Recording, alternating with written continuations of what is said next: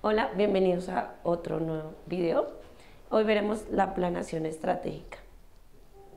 La planeación estratégica es la elaboración, desarrollo y puesta en marcha de distintos planes operativos. Es importante que nosotros tengamos una estrategia y antes de tener esa estrategia nos hagamos un estudio a nosotros mismos y un estudio a nuestra empresa en lo que es importante, lo que es necesario, en lo que estamos fallando. Asimismo, eh, podremos eh, cumplir metas planeadas. Entonces, hay que tener en cuenta este cuadro. Aquí hablamos de lo urgente, lo no urgente, lo importante y lo no importante.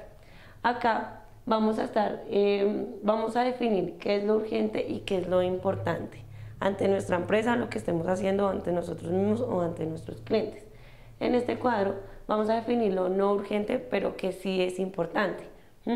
En este, lo que es urgente, pero no es tan importante y aquí lo que no es urgente y no es importante. Entonces es importante que hagamos, hagamos este cuadro, ¿sí? así nos daremos cuenta en qué estamos fallando, cómo lo estamos haciendo, podemos hacer un mejor proceso para poder organizar todas nuestras cosas, así llegar, poder llegar a nuestra meta. Ese es el tema por hoy, nos vemos en un próximo video.